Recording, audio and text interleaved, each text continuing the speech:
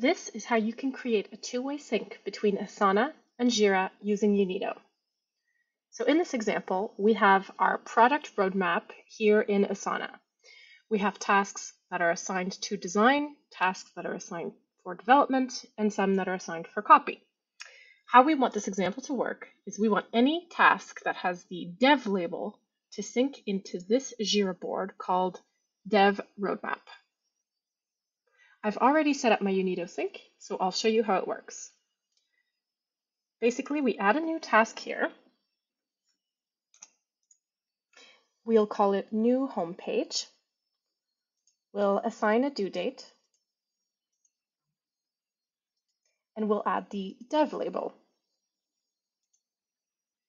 Now we'll go into our Jira board to see if it has synced in.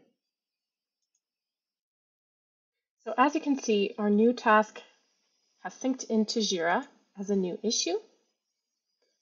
The title, the due date, and a link to the original Asana task are all synced over into Jira. To show you how this works, we'll go into our Unito dashboard so this first step here is connecting your Asana project to your Jira Cloud project. Here is where we choose the direction of our flow.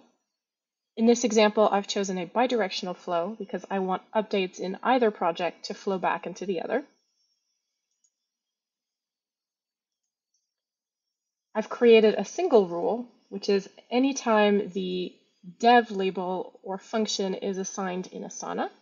That's when the task will sync over into the Jira roadmap.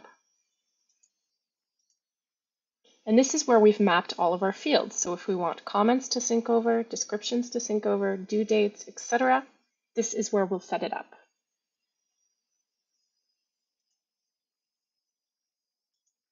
So there you have it. That's how you sync Asana and Jira using Unito.